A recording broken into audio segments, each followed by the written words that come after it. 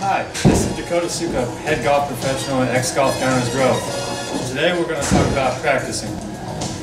Most of my students and most amateur golfers don't know how to practice the right way. The most important thing when you're practicing is practicing with a purpose. Whether that's your stance, whether that's alignment, just go out there, you're not at the driving range just beating balls for hours.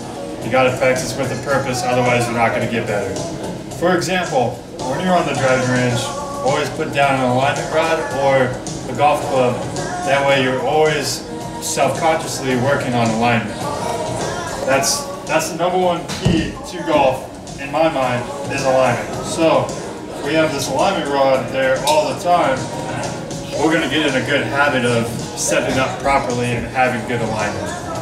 And that's something you don't have to work on every time, but if you have that down there, you're subconsciously working on it no matter what. So when you're going to practice, practice with a purpose,